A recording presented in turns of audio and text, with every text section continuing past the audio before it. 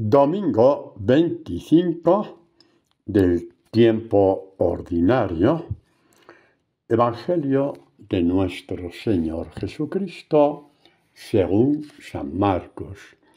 Capítulo 9, versículo 30 a 37. Jesús y sus discípulos iban caminando por Galilea él no quería que se supiera porque iba enseñando a sus discípulos. Y les decía, el Hijo del Hombre será entregado en manos de los hombres, le matarán y a los tres días de haber muerto resucitará. Pero ellos no entendían lo que les decía y temían preguntarle. Llegaron a Cafarnaúm y una vez en casa les preguntaba, ¿de qué discutíais por el camino? Ellos callaron pues por el camino habían discutido entre sí quién era el mayor. Entonces se sentó, llamó a los doce y les dijo, si uno quiere ser el primero, sea el último de todos y el servidor de todos. Y tomando un niño le puso en medio de ellos, le estrechó entre sus brazos y les dijo, el que reciba a un niño como este en mi nombre, a mí me recibe. Y el que me recibe a mí, no me recibe a mí, sino a aquel que me ha enviado. Palabra del Señor. Gloria a ti, Señor Jesús. Bueno, hemos puesto como título a esta catequesis, Átame a ti, Señor. Veremos que Jesús nos ata a Él con los lazos del Evangelio. Sí, el Evangelio es el gran lazo de amor con la cual Dios nos tiene atado a Él. Jesús nos tiene atado, ¿no? Y a estar atados a Él, estamos atados también al Padre. Bueno, Jesús hace este anuncio de la pasión y los discípulos no entienden. Y podemos decir, bueno, pero ¿qué pasa? ¿Tenía un ladrillo en la cabeza? ¿Tenía una piedra en la cabeza para no entender? Está muy claro, el Hijo del Hombre va a ser cogido, va a ser llegado, va a ser juzgado, le van a matar, etcétera, etcétera. Tan difícil de entender. El problema, como veremos, es que no es que tuvieran una piedra en la cabeza, tenían una piedra en el corazón. Y con un corazón de piedra, ya puedes leer el Evangelio 14 veces que no entiendes nada, porque no va contigo. No va contigo el perdonar, no va contigo tu relación con el dinero, no va contigo acoger al necesitado, no, no va contigo. No lo entenderás nunca. ¿De acuerdo? Bueno, pues el caso es que Jesús les preguntó, porque por lo visto, mientras Jesús hablaba, ellos, en fin, no, de, no dejaban de hablar entre ellos, o sea, no escuchaban a Jesús, no dejaban hablar a, Jesús. Ya les preguntó, oye, ¿de qué hablabais? Eh? Por el camino, ¿de qué discutíais? La palabra discutir, ¿eh? ¿Eh? Es un discutir hasta con violencia. La palabra discutir no solamente tener opiniones contrarias. ¿eh? En el lenguaje de Israel es casi llegar un poquito a malas maneras. No, no, a puñetazos no, pero a malas maneras sí. ¿Y cuál era la discusión? Pues se callaron, porque en el camino habían discutido sobre quién era el mayor de todos. ¿Qué os parece?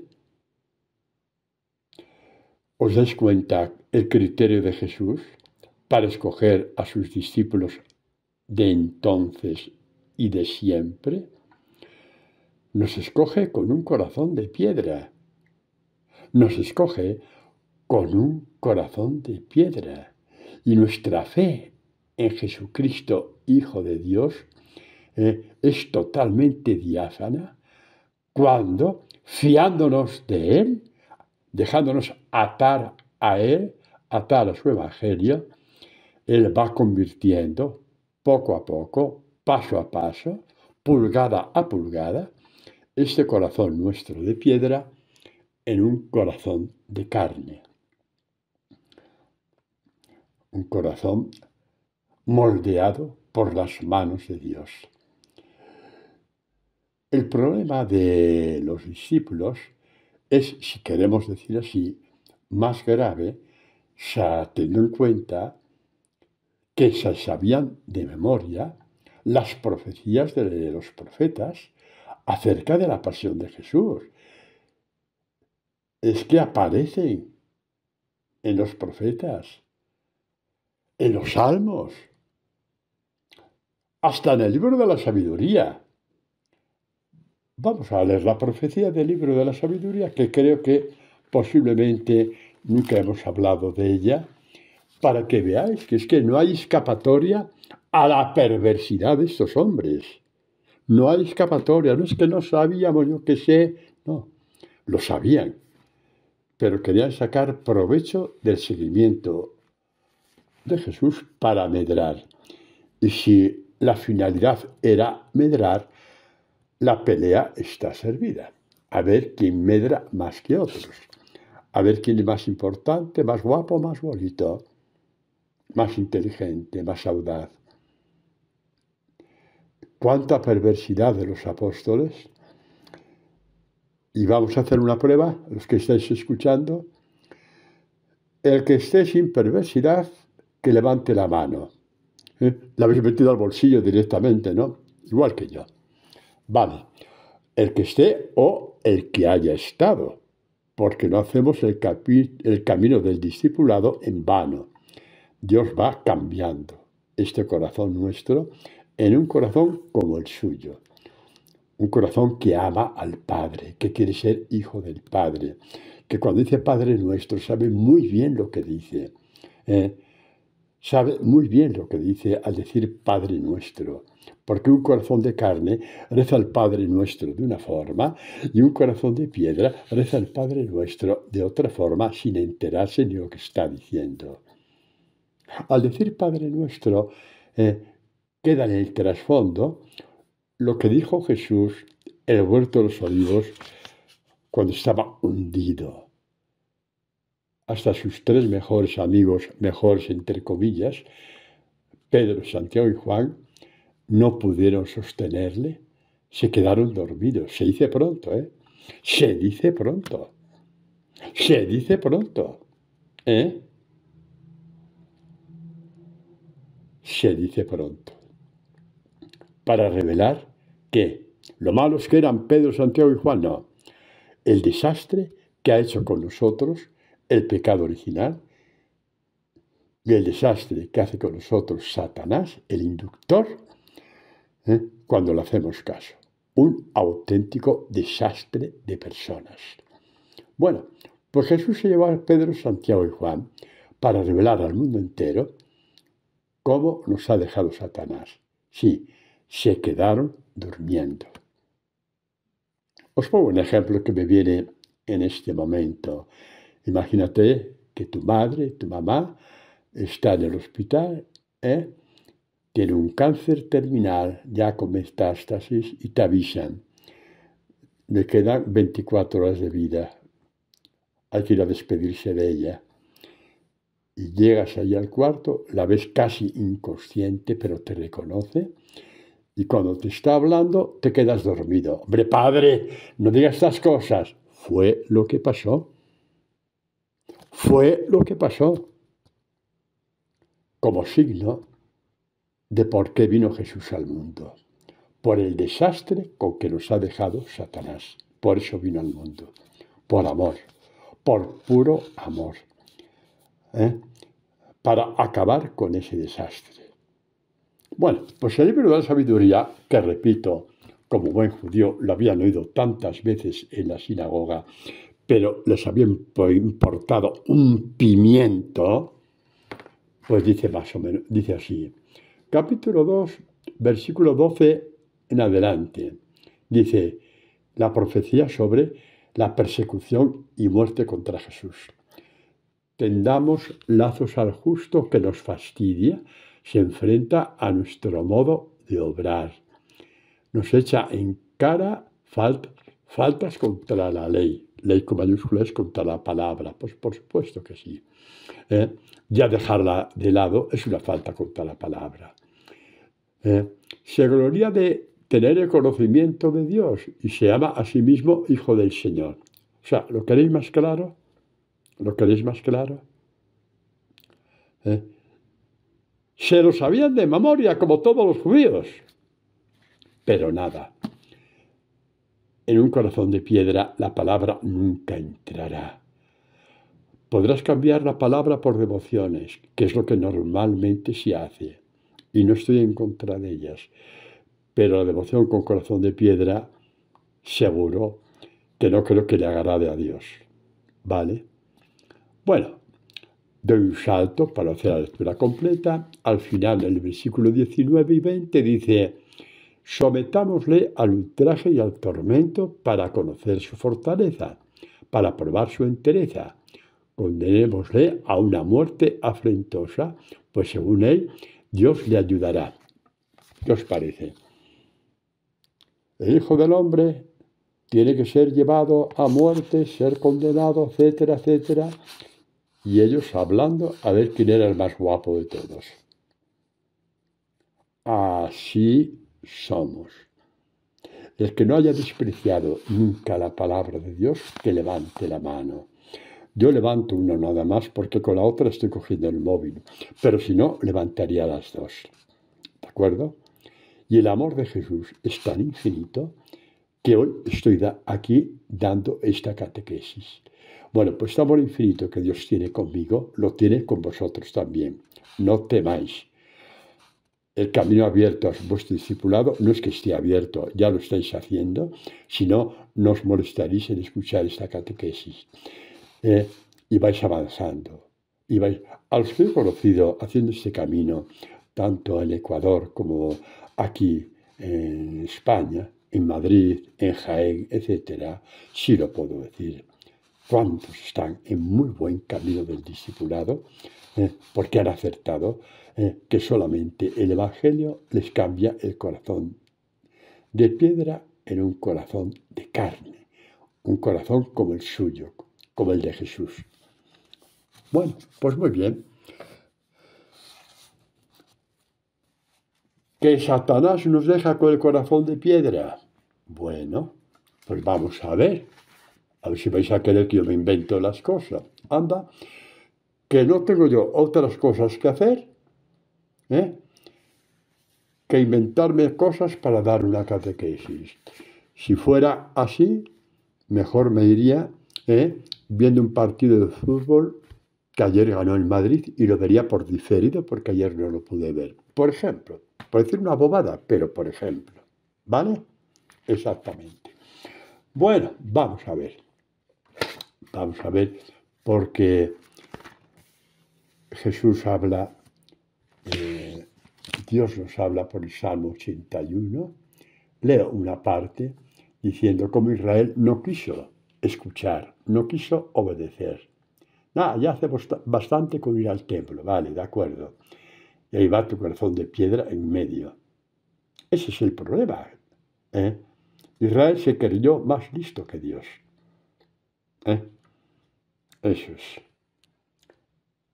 Dice, pero mi pueblo es el capítulo, perdón, Salmo 81, versículo 12 y 13. Pero mi pueblo no escuchó mi voz, no quiso escucharme. ¿eh? No me quiso obedecer.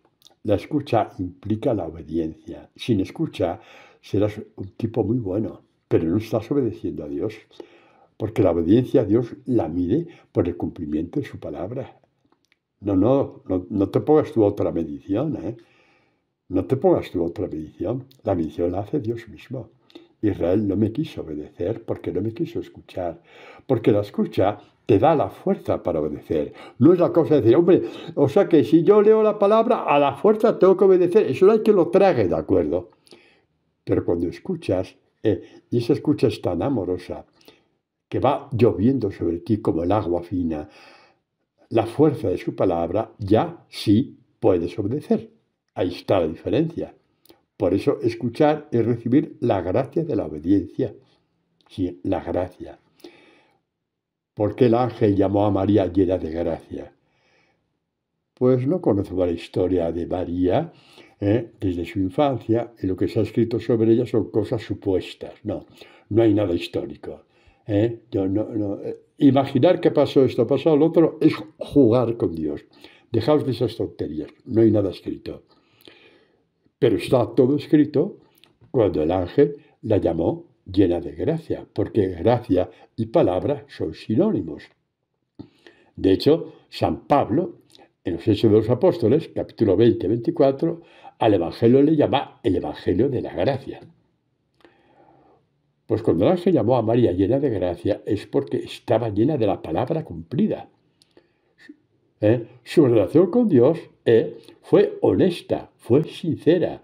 La palabra que escuchaba en el templo la guardaba en el corazón ¿eh? y con muchas luchas, como todo el mundo, esa palabra fue haciéndose un hueco dentro de ella. Exactamente. Y el ángel pudo llamarla llena de gracia. ¿Y por qué insisto en eso? Porque llena de gracia eh, ya era normal, normal, normal que dijera, hágase mí según tu palabra. Porque yo con la palabra casi toda mi vida, desde que tengo uso de razón, en lo más profundo de mi ser. Hablar así de María, sin inventar nada, es lo más bello que nos puede acontecer. Hablar de María. Pudo decir sí a Dios porque estaba llena de gracia, que fue la forma como la saludó el ángel. ¿Eh? Eso a propósito de que María escuchaba y obedecía. Todo lo contrario de lo que se nos dice de Israel, y ahí entramos también nosotros, por lo menos en buena parte de nuestra vida. ¿eh? Escuchamos y no obedecemos, porque escuchamos algunos para aprender, otros para cumplir y otros de tan mala manera que media hora después de la misa ni se acuerdan de que iba el Evangelio. Porque no les importó. Porque no les importó los estragos que hace Satanás y nosotros. Por eso la palabra se hizo carne y habitó entre nosotros. Eh, y Jesús fue al cielo, pero se quedó con nosotros. En la palabra, el Evangelio y en los sacramentos, especialmente en la Eucaristía y por supuesto también en el perdón de los pecados. Claro que sí. No hay que inventar nada. ¿No? Bueno, pues como era la cosa, les abandoné. Ah, leo los versículos 12 y 13 de Salmo 81. Mi pueblo, Israel, no escuchó mi voz. Mira que iban al templo, no escucharon. Mira que iban a la sinagoga, se proclamaba la lectura sobre y otra vez. No escucharon, no escucharon y no escucharon. Vas a misa, no escuchaste. ¿Eh? Porque esa palabra que te va a cambiar ciertas cosas, no, esto no va conmigo. No, no, que va, que va. Esto es para San Francisco, no es para mí. Vale, de acuerdo. Adiós muy buenas. Estás igual que Israel. Estamos. Repito, no es vuestro caso, al menos en gran parte. Si no, no estaríais una hora aguantando a este padre Antonio. ¿De acuerdo? Así que no os peguéis golpes de pecho antes de tiempo. Estáis en el buen camino. No, no, no os lo peguéis. ¿Eh? Porque estáis en el buen camino de seguir escuchando y arrancando durezas del corazón. Cada vez que la palabra entra dentro de ti porque tú le das paso, Dios te da la palabra. El que tiene que dar paso a tu corazón es solamente tú. Cada vez que le das paso, eh, se va un poco desmoronando el monolito de mármol que tienes en el corazón, que tenemos en el corazón. Mirad cómo termina el texto de, que os decía antes del Salmo, ¿no? Lo leo los dos versículos. Mi pueblo no escuchó mi voz. Israel no me quiso obedecer. Yo les abandoné a la dureza de su corazón. Les abandoné a su corazón de piedra. Dios no ha castigado. Dios le dijo, ah, ¿queréis ir con el corazón de piedra? Adelante. Les abandonó. Pero no les castigó, ¿eh? Simplemente les dejó como estaban, con el corazón piedra con que salieron Adán y Eva del pecado original. Hacemos nuestra voluntad y no la voluntad de Dios. Ese fue el pecado, no fue la manzanita o la sandía o la calabaza o un kilo de pepinos. No. Dios ha dicho una cosa, pero yo digo otra. ¿De acuerdo? Muy bien. Bueno, es muy fuerte, ¿no? Sí. Pero más fuerte es la misericordia de Dios. Hasta tal punto de que Dios se hizo carne, habitó entre nosotros, murió como estaba escrito, y en esa muerte venció a Satanás, porque nos dejó como herencia el Evangelio de la vida, el Evangelio del cambio, el Evangelio de la conversión, el Evangelio de la gracia. Todo eso es el Evangelio. Todo eso. Todo eso. Me atrevo a decir una cosa.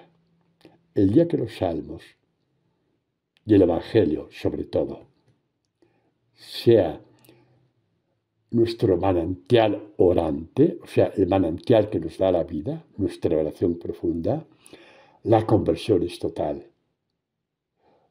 Cuanto más evangelio haya dentro de ti, ¿eh? con más fuerza recibirás la gracia de la Eucaristía. ¿Eh? Repito, cuanto más evangelio hay dentro de ti o de mí, con más fuerza de conversión recibimos la Eucaristía y celebramos la Eucaristía y asistimos a la Eucaristía. ¿De acuerdo? Eso es lo esencial. Es lo esencial. Hay personas que pierden el tiempo, padre, me preguntan a mí, ¿no? ¿Qué es mejor, comulgar de rodillas o de pie? ¿Qué es mejor, comulgar la mano o en la boca? Bueno, no voy ahora a dar ahora respuesta a esto porque nos va el tiempo entero. Pero es que la pregunta esa es totalmente secundaria. La pregunta que nos tenemos que hacer es, ¿cómo voy a la Eucaristía?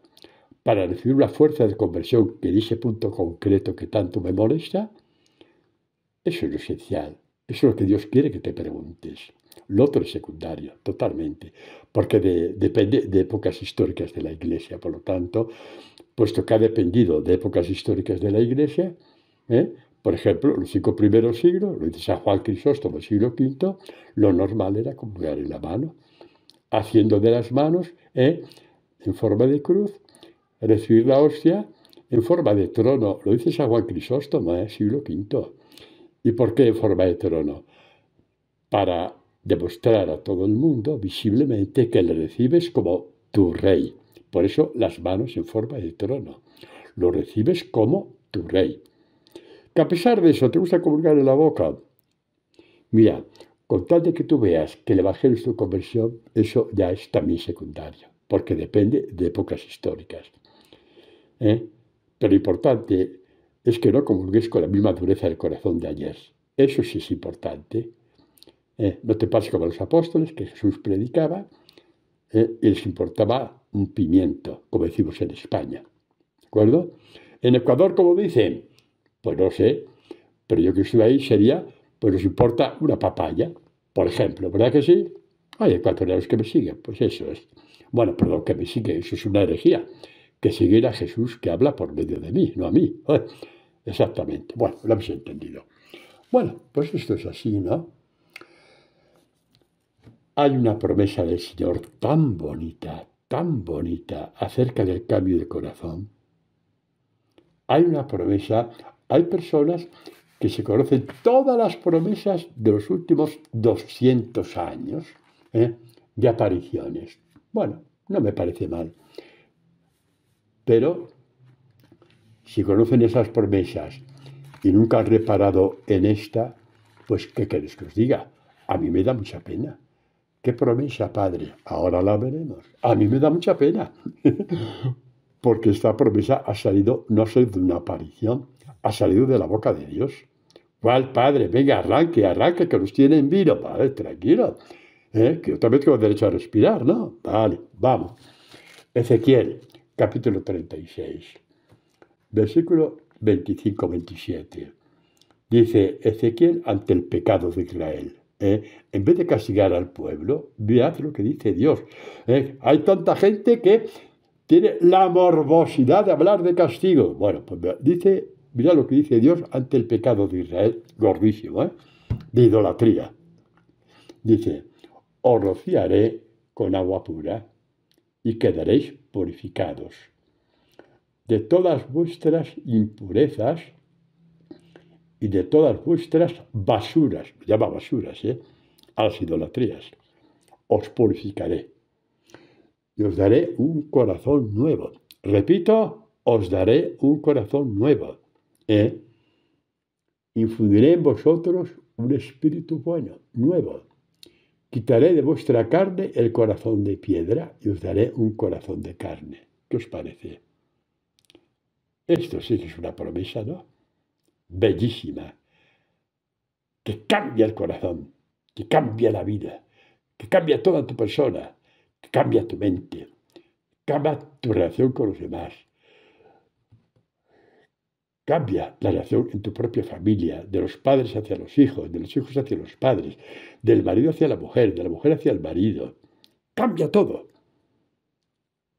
Pero continúa Dios diciendo, os daré un corazón de carne, infundiré mi espíritu en vosotros y haré que os conduzcáis según mis palabras. Haré.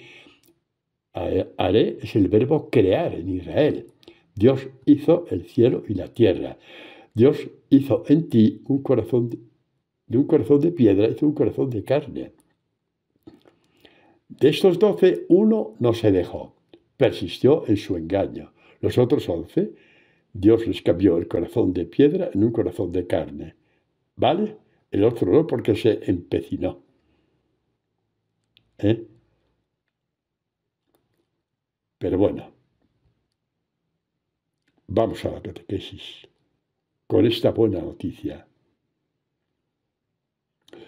Si Jesucristo hubiera sido un líder humano y habla de esto, como quien dice, cargando sobre él, no asumiendo las profecías de los profetas sobre la pasión del Mesías, si hubiera sido un líder humano y ve que estos doce, mientras habla de esto, ellos hablan, ve que es el mejor y el peor, les manda a su casa con su mamá con un bofetón en la cara. Exactamente. No hay quien aguante. No soy más tonto porque no habéis hecho curso. Pero Jesús era el Hijo de Dios y sabía con quién se iba a encontrar. Con unos hijos de Israel, que en este caso eran Pedro, Juan, Santiago, todos, que tenían un corazón de piedra. ¿Cómo se llama eso? Amor con mayúscula. ¿Cómo se llama cuando a ti ha dicho, Luisa, quiero que seas mi discípula? Se llama amor con mayúscula. Sí, Ismael, amor con mayúscula. María, amor con mayúscula. Felipe, amor con mayúscula. Carmen, amor con mayúscula. Antonio, uy Antonio, mira Antonio, a pesar de todo, te amo con mayúscula a ti también. Eso es. También. ¡Qué maravilla! Este es nuestro Dios. Por eso tenemos que anunciarlo. Por eso tenemos que anunciarlo. Porque la gente no conoce a ese Dios. Lo tiene oculto detrás de 40.000 telas. O simplemente no lo conocen. Hay que anunciar este amor. Hay que anunciar este perdón. Hay que anunciar que Jesús aguantó estos doce petardos de apóstoles que escogió. Porque no había no tenía elección. Si hubiera ido a Jerusalén a los hijos de los mejores rabinos, eran iguales. Empezando porque los rabinos eran iguales. Los sacerdotes, los escribas, todos. Cumplir con Dios, pero mi corazón no me lo toques. Su corazón de piedra y hago lo que me da la gana con él. Perfecto. Hasta tal punto hicieron lo que da la gana que porque les dio la gana mataron al Hijo de Dios qué malos que eran, ¿verdad que sí? Ah, que sí, ah, que eran malos, ¿verdad que sí? ¿Sí? Pues mira, nos vamos a meter en la máquina del tiempo, ¿vale? Y vamos a situarnos en Palestina, en tiempo de Jesús. ¿Eh? ¿A que ya nos gusta esto? Sí, hubiéramos gritado, crucificaré, igual que ellos. Así somos, así nos encontró Jesús. Y así nos amó. Esto es para llorar. Esto es para sacar el pañuelo y llorar. Pues es así, exactamente. Jesús les dice, si no hacéis como niños, otra vez el verbo hacer. Decía que yo haré que sigáis según mis palabras, ¿no? Y ahora, oh, haceos como niños. ¿Cómo si no puedo? Eh, el Evangelio de la gracia, el que te hace como niño. Hay una profecía muy fuerte, muy fuerte, muy fuerte en el Antiguo Testamento, donde vemos que esta palabra se va a cumplir. El haceos como niños se va a cumplir. Y eso es para llorar. Y os voy a decir la palabra. A ver, es el Salmo 131, que dice el salmista, Señor, mi corazón no es ambicioso. No está diciendo, mi corazón, cuando me conviertas, ya no será ambicioso, no. Aquí la palabra dice como cumplida. ¿Qué significa eso? Que un día tú podrás decir, y en parte ya lo podéis decir, sí, hablo como sacerdote y no os miento. Los que seguís el camino del Evangelio, ya lo podéis decir. Ya podéis decir, Señor, mi corazón no es ambicioso. Lo fue. Y por eso tenía peleas continuamente en mi casa con todo el mundo y en el trabajo, porque mi corazón era ambicioso. Y mis ojos soberbios, mirando a los demás por encima del hombro. ¿Eh? No he tomado camino de grandeza, ¿no? ¿Cómo que no has tomado, no? Porque estás en el camino del discipulado. Has dejado el camino de las grandezas y ahora has tomado el camino del discipulado. ¿Os está gustando el salmo? Así es Dios contigo. ¿Qué miedo le tienes? ¿Qué desánimos hay dentro de ti? Deja esos desánimos. Dios te ha dado una profecía tan fuerte ¿eh? Que los apóstoles, años después, cuando rezaban ese salmo, llorarían, porque ya eran en parte hombres sin ambiciones y sin vanidades, ya lo eran. Su buen pastor les había llevado por el camino de la luz del Padre, los lazos del Evangelio. Nunca me cansaré, nunca me cansaré si me quedaran diez minutos de vida y me dijera, Antonio, di algo último a tanta gente que tienes en el móvil de España y de América, en diez minutos solamente diré una cosa, ataos a los lazos del Evangelio, ataos a los lazos del Evangelio, ataos a los lazos del Evangelio, porque estáis atados, no abrazados a Dios.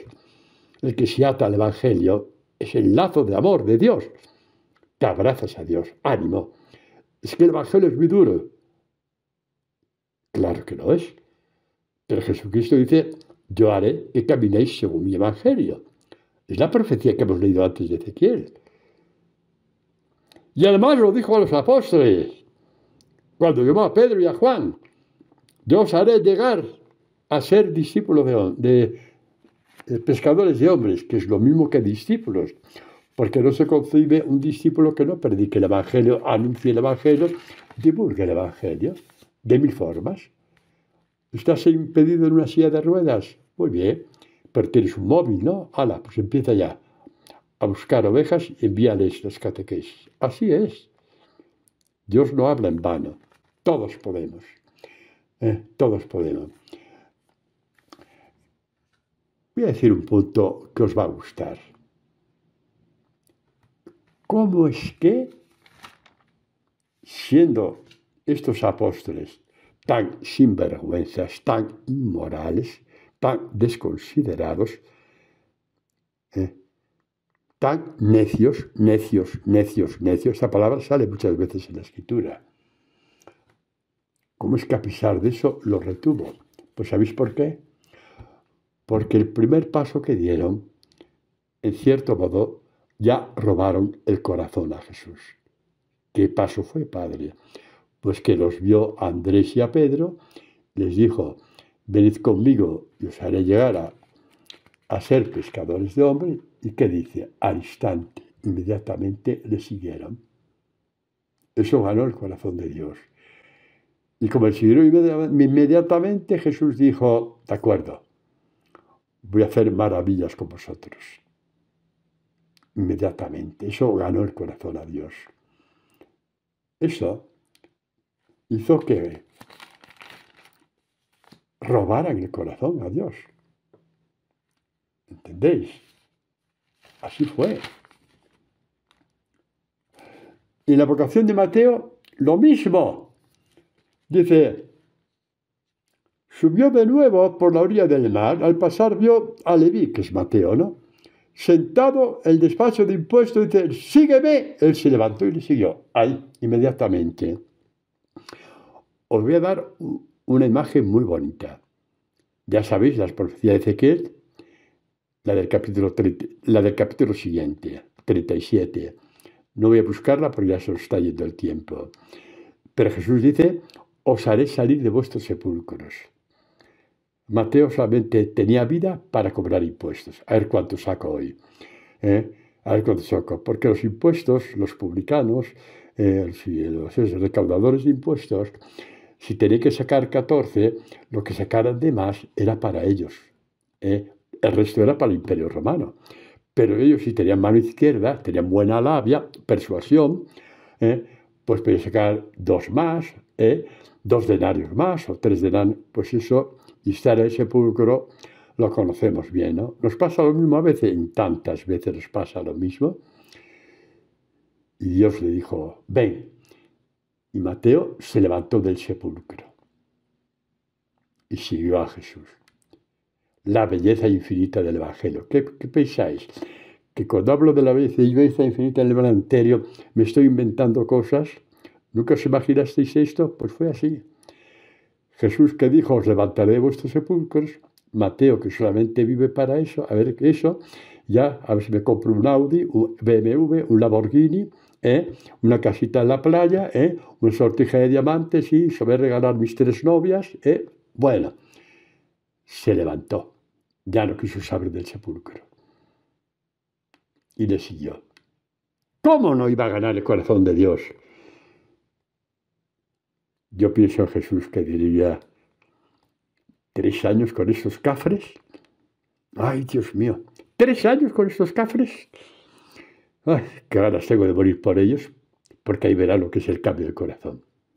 No riáis.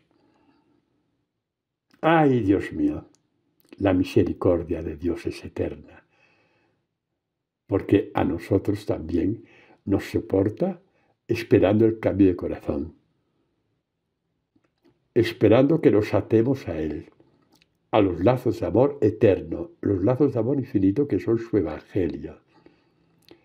Yo he visto tantos cambios en tantas personas a la luz del Evangelio, pero no fue la cosa de decir, ahora punto, como los apóstoles voy al Evangelio. Y luego, poco a poco, Dios les ha ido moldeando, igual que a mí, paso a paso. No, a mí nadie me lo ha contado, lo he visto yo en muchas personas. Repito, sobre todo donde más tiempo he estado, que es en Ecuador y en Madrid. Cambios, cambios, cambios continuos, eh, continuos, paso a paso. Personas que hacen cosas que nunca hubieran hecho porque el Evangelio les cogió de llena, de lleno. Y eso es la fe. ¿Eh? Eso es la maravilla de la fe. ¿De acuerdo? Bueno. Y ahora, Padre, quiero atarme a Dios. Hombre, eso es lo mejor de esta catequesis. Que más de uno ha dicho quiero atarme a Dios con el lazo amor del Evangelio. Bueno, pues muy bien. Que sepas que el discipulado es una llamada de Dios, porque es Dios quien te va a atar a Él. ¿Sí, Padre? Sí, hombre, sí. Os leo. Sí, Padre, léame. Marcos 3, 13, 14. Marcos cuenta así la elección de los doce. Subió al monte, llamó a los que él quiso, vinieron donde él. Instituyó doce para que estuvieran con él. ¿Qué tal? Para atarlos a él. Para que se abrazaran a él Ay, padre, es que usted sabe mucho. Vamos a ver que sabe mucho. He leído textualmente. Lo que pasa es que tú lees con mucha prisa, hombre. ¿Eh? Como cuando lees la oración a San Panulfo, que es muy buena para los, saballones de la oreja. ¡Hala! La San Panulfo. ¿eh? 14 líneas en 13 segundos. Exactamente. Y otras oraciones más dignas también. De cualquier forma, para cumplir. Y cuando son los salmos, a esa velocidad es para llorar, porque no te enteras de las catequesis que hay en cada versículo del salmo. No te enteras, porque rezas para cumplir. Cada catequesis, cada hay parte de una catequesis, hay que leerlo con amor, deletreando, modulando, paladeando cada palabra y si es necesario repitiéndola para que vaya entrando la cascada de agua de Dios dentro de ti. Que eso es lo que hace que el corazón de piedra se convierta en un corazón de carne. ¿De acuerdo? ¿Mm? Les llamó ¿eh? para que estuvieran con él y para enviarlos a predicar. ¿Qué creéis? Que cuando yo digo que hagáis esto, hagáis lo otro, es porque me interesa a mí personalmente, no. Es que no hay discípulos y hay predicación del Evangelio como os he dicho antes, aunque esté en silla de ruedas. Y cuantas más puertas se ofrezca a Dios, mejor. Padre, no me hacen caso. Oye, que te hagan caso no, es secundario. Tú has obedecido a Jesús. Has dado pasos en el discipulado. ¿Eh? Exactamente, eso es como la bolsa, ¿eh? que inviertes 40 y te salen 80 después de tres meses. No, esto la cuenta la lleva Dios y siempre sales ganando. Aunque caiga la bolsa, lo que tú has predicado queda en tu haber. Sí, queda en tus ganancias. Lo que tú has predicado y sigues predicando, te hagan caso o no te hagan caso, queda en tu haber, en tus ganancias. Ahí está, a que se alegra tu corazón. Pues claro que sí. Y no os miento, ¿eh? No os miento. ¿Repetimos el texto? Pues sí, instituyó a los doce ¿eh? para que estuvieran con él, atados a él con los lazos de su amor. Padre, ¿y la Eucaristía? ¿Es un lazo de amor también? Por supuesto que sí, pero recuerda que la Eucaristía está en el Evangelio. ¿eh? No la inventó ¿eh? San Pedro, está en el Evangelio. Y haced esto en conmemoración mía. Por tanto, todo, no, no separemos. Palabra Eucaristía no separemos porque Jesús las juntó en el Evangelio. Jesús, la palabra del Padre, instituyó la Eucaristía. Bueno, entonces eh, estuvieran con él y enviarlos a predicar. ¿eh? Y después no dice nada. Si sacas un 10 de fruto, un 20, un 30 o un 0, tu ganancia está asegurada por el simple hecho de predicar. Ay, padre, qué alegría me da. Pues claro, la alegría que tengo yo. ¿Qué creéis? Que cuando yo hablo ah, por aquí y por allá, siempre, uy, qué bueno, la gente se ha... hay gente que le da, le importa tres pepinos, hombre. Y así la catequesis a lo mejor en una parroquia, ¿eh? y el primer día, qué maravilla, te dan la mano, qué contento, y el que te da la mano ya, coge la maleta y se va al otro punto de la ciudad por no verme. ¿Qué esto pasa? Pues claro que pasa, hombre. Claro que pasa. Sin embargo, yo he predicado, he obedecido a Jesús. Ánimo, ánimo, ánimo. El mundo está demasiado a oscuras. Ánimo, hay que arrojar luz. La palabra es la luz verdadera que ilumina a todo hombre que viene a este mundo. Juan 1.9. Eso de quejarse mucho más y no hacer nada es un fariseísmo, digamos, barato. El mundo está a oscuras y no hay otra luz que la palabra. Juan 1.9. La palabra es la luz verdadera, la que viene de Dios. No está inventada por los hombres. Que primero te ilumina a ti, te va cambiando el corazón y te da alas para ir al encuentro de los demás, para anunciar el Evangelio. A veces te humillarán. ¿Y qué pasa el día que te humillan? El día que te humillan, dice San Pedro a la Virgen María. ¿Eh? María, apunta en la lista de Pepe. Apunta otra piedra preciosa. Le acaban de humillar a casa del Evangelio de Jesús. Apunta, dice María. No, dice Pedro a Jesús. Ah, ya, ya, ni, ya ni sé quién. Lo mismo da, apunta, porque le acaban de humillar por predicar el Evangelio. Yo vi una vez a una persona llorar porque le dieron con la puerta en las narices, humillando a esa persona. La joya que esa persona tiene en el cielo ni se lo imagina, pero la tiene. ¿De acuerdo? Yo te he metido portazos y qué alegría saber que tengo esas joyas ahí. Ánimo vosotros también. Ánimo. Al estar cercanos a Dios, causa de Jesús, experimentas que todo lo bueno que te puedes imaginar ha pasado ya en ti. ¿Por qué? Por estar junto a Dios. claro, es que ya lo estás. La muerte no es más que un trámite, tú ya estás junto a Dios. Y por supuesto sin pasar al purgatorio. Los que sigan estos pasos, ¿eh? No me llaméis hereje. El purgatorio existe. Pero los que dan estos pasos, para estos, eh, que han descubierto lo que es estar junto a Dios, eh, Dios no les va a mandar al purgatorio. ¿eh? Ni vamos, en absoluto. Ni siquiera de visita turística, que no y que no. ¿De acuerdo? Vaya turismo y al purgatorio, falta ser tonto también. Bueno, al grano. El Salmo 73, Dios mío, como os decía antes, tantas catequesis en cada versículo del Salmo, empieza Dios diciendo en ese Salmo que en verdad qué bueno es Dios para Israel, el Señor para los de limpio corazón, los que han sacado de su corazón todas las vanidades, todas las enemistades, los que han sabido pedir perdón, han lavado a fondo el corazón. Qué bueno es Dios para los que limpian su corazón, los que saben pedir perdón. Qué bueno es Dios. Los que saben apiadarse de los demás. Qué bueno es Dios para los limpios de corazón. Tan bueno que le ven con los ojos del alma, como dice la bienaventuranza, que no me acuerdo cuál es. Bienaventurados los limpios de corazón, porque ellos verán a Dios. Sí, en el cielo, ¿verdad, Padre? No, aquí en la tierra ya tienes unas percepciones de Dios que nunca tuviste. Con los ojos del alma, como dice San Agustín. Los limpios de corazón.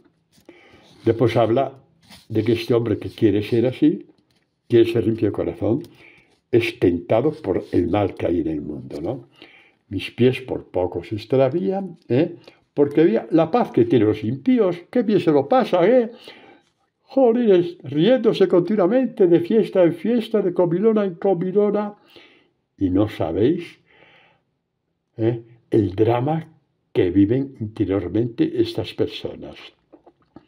En el exterior nos parece que va muy bien, pero el drama interior es enorme, enorme, enorme.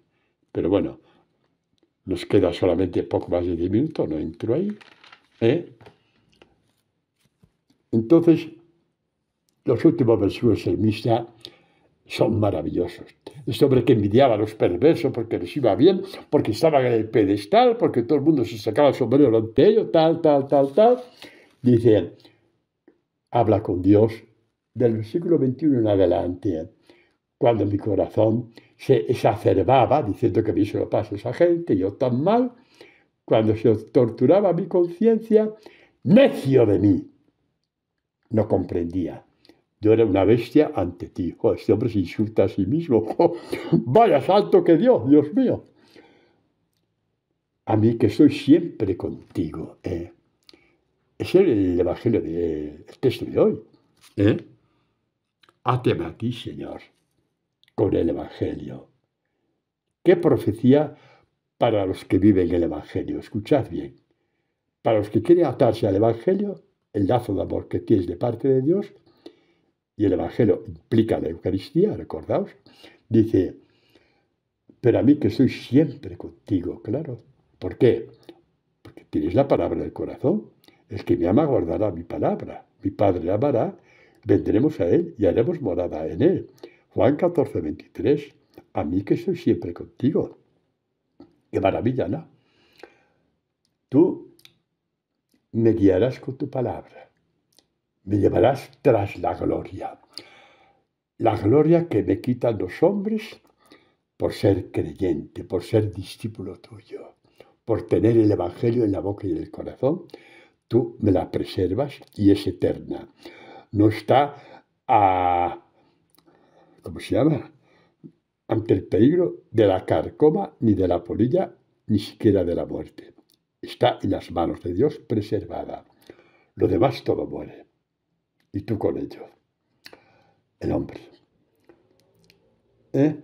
Dice, ¿qué hay para mí en el cielo estando contigo? ¿Ya? No hay gusto en la tierra. Tú desde el cielo me transformado hasta mis gustos. ¿Eh? Mi carne y mi corazón se consumen. Roca de mi corazón, qué nombre más bonito. Inventamos letanías sacadas de no sé dónde, y esta letanía, roca de mi corazón. ¿Os imagináis esta letanía a la Virgen María? No, no está, no la busquéis.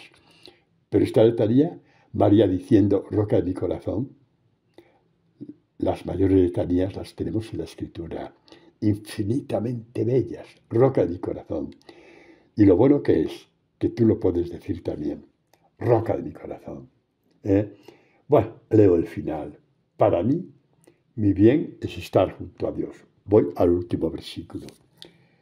Para mí, mi bien es estar junto a Dios.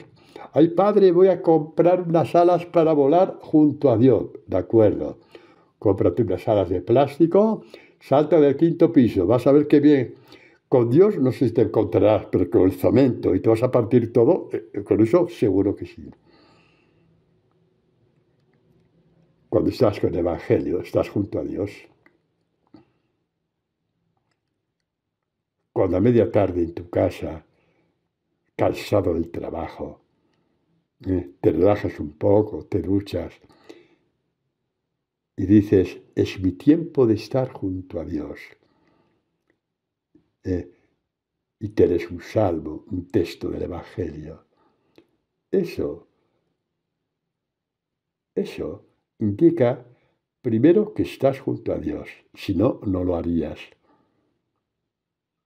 Y segundo, que Dios está junto a ti y que este estar junto a Dios es cada vez más íntimo. He dicho a la tarde, pero bueno, cada uno tiene sus tiempos, ¿no? Depende de su circunstancia, ¿no? ¿De acuerdo? Muy bien. Para mí lo bien es estar junto a Dios. He puesto mi cobijo en el Señor. Me pasan mil cosas, pero estoy a tu sombra, a la sombra de tus alas. Tú eres mi refugio, tú eres mi cobijo. Me pasan mil cosas, hasta en la salud, hay gente que no me entiende, gente que me critica, gente que me ha interpretado mal. Estoy en tu refugio. Y eso no termina nunca, eso está ahí para siempre. ¿Mm? Pues así es. He puesto mi cobijo en el Señor. Dios es tu cobijo, pero eres tú el que lo tienes que escoger. Padre, no sabía que los salmos era tan bonito. Pues ¿qué esperas, hijo mío? Lo que te quede de vida, aunque sean 120 años. Vete a los salmos, porque son infinitos en catequesis. La de catequesis que podía salir de este salmo. Os he dado un punto detrás de otro. Cada punto podía ser de media hora. Todo eso que Dios nos ha dado. No vayáis detrás de oraciones inventadas por los hombres. Pues que sí, iros. Pero creo que os saquéis muchas cosas. De aquí sí, sacáis mil catequesis. Poneos las manos del Señor. Pedidle que os enseñe Él, porque no hay otro maestro más que Él. Pedídselo, ¿de acuerdo? La semana pasada os mandé, ¿no? A muchos de los que me oís, una catequesis titulada Partiendo la Palabra. ¿eh? Una forma de decir cómo partir la palabra, ¿de acuerdo? Algunos me han escrito diciendo, Padre, gracias, gracias. Yo no os voy a enseñar a partir la palabra, pero si os doy unas pistas y vosotros seréis enseñados por Jesús a partir la palabra. Vosotros seréis. Y esto lo he visto yo en muchísima gente. Por lo tanto, no os estoy mintiendo. ¿eh? Entre esa muchísima gente que he visto, he visto gente de una cierta cultura y he visto, concretamente en Ecuador, semi-analfabetos, que Dios les enseñó a partir de la palabra. No, no les mandé a hacer cursos bíblicos, que los podéis hacer, pero yo no les mandé. Dios tiene su maestría. Eres el maestro. A nadie llaméis maestro. Él os enseñará a partir de la palabra. El tiempo que nos queda, que nos queda vamos a hablar de Marta y María. Vamos a ver si hay suerte. ¿eh? Y no me enrollo y puedo decir, Jesús entró en casa de esto, de Marta María, y dice,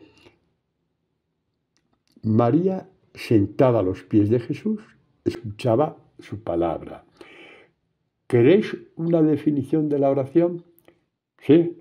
¿Queréis ser instruidos en la oración? ¿Queréis? Sí, Padre, quiero, quiero. ¿Quieres aprender a partir la palabra? ¿De verdad que quieres? Sí, Padre, quiero, quiero. Bueno, pues mira, aparta el tomo de 500 páginas, decir cómo orar. Apártalo. Hay padres de San Pepito Juanito. Fue muy bueno en su tiempo, apártalo. Porque el gran libro de la oración viene encabezado por ese texto de hoy. El gran libro de la oración y la escritura. Pero esto de por sí ya son una, dos, tres y muchas lecciones del mismo Jesús. María, a los pies de Jesús,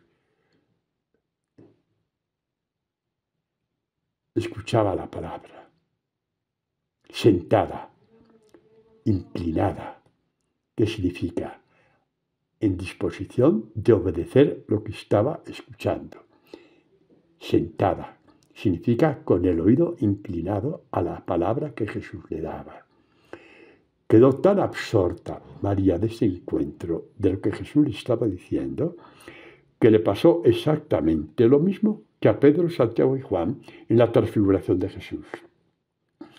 Se quedaron fuera del tiempo y del espacio ¿eh? y dijeron, vamos a hacer aquí tres tiendas. Y así, vas a ir a, a la tienda del pueblo a comprar la tienda y montarla no sabía lo que decía. Estaba fuera del tiempo y del espacio, transfigurada. Le pasó a María. Esto es la oración. Ay, Padre, ¿cómo me gustaría? Pues estás a tiempo. Escucha esta catequesis una, dos, tres veces y te darás cuenta que sí, que estás a tiempo. Inclinada, con deseo de obedecer, te gustara o no te gustara, eh, escuchaba la palabra. No es que no quisiera ayudar a Marta, es que estaba fuera del tiempo y del espacio. ¿Cuál fue el problema de Marta? Que no entendió que ese día se podía comer dos horas más tarde y no pasaba nada, porque su alma estaba para ser alimentada por Jesús. Y cuando protestó, ¿qué le dijo Jesús? Marta, Marta, una cosa es necesaria. Al decir Marta y Marta, como dicen los judíos, expresó un infinito cariño por esta mujer que después aprendió evidentemente a escuchar la palabra, de hecho está en Santo Oral. ¿Y qué dice Jesús? ¿Cómo termina este Evangelio? Dice, María ha escogido la parte buena y no se la quitarán. La parte buena que has escogido, eh, y aunque se enciendan todos los poderes de Satanás contra la iglesia, no hundirán a la iglesia. Esto vale por ti. Aunque todo arremeta contra ti, no podrán contigo. No se te quitará la elección que has hecho. Nadie, ni todos los demonios juntos, ni todas las enfermedades juntas, ni todos los disgustos juntos, ni todas las precariedades juntas. No prevalecerán contra la elección. ¿Por qué? Porque has escogido la parte buena. Y al escoger la parte buena, diste cumplimiento al salvo anterior. Para mí lo bueno es estar junto al Señor. ¿Os estáis dando cuenta como todo está entrelazado? Os acabo de partir la palabra en nombre de Dios, no en mi nombre. Para mí lo bueno es estar junto a Dios. Y damos un salto a Marta y María. María escogió lo bueno, estar junto a mí. Preciosa la catequesis, ¿verdad que sí? Pues bendecid a Dios, porque yo como hombre soy incapaz de dar esta catequesis. Dios me ha utilizado el mejor sentido de la palabra. Amén.